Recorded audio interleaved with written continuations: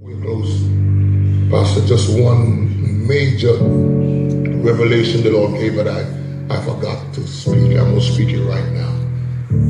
The Lord is revealing an individual, and you are walking. You're walking, and you have something in your hand. It may be a book you're reading, or it's a phone or some device, but you are distracted, and uh, you can be seen stepping into a watery tragedy. My God the watery tragedy.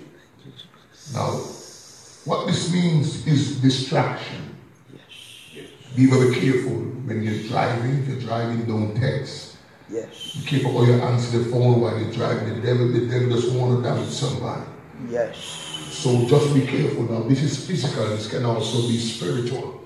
Yes. Just be careful of distraction. Hallelujah. And I like what the pastor preached tonight about standing on the rock. Yes. Be careful of distraction because the devil wants you to step. I'm looking at the person and they didn't realize they were stepping.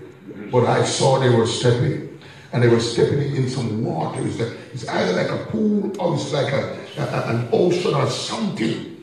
And we have heard of people who have been texting and, and, and step, step into, into their death. Yes, yes. So be very careful. And those of you watching, Amen. Be careful of distractions, spiritually or physically.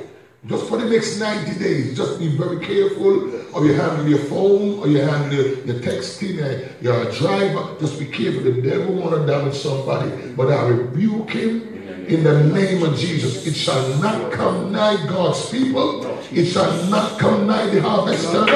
It shall not come nigh because God said, when I see the blood, Oh my God, I'll pass over you and your shall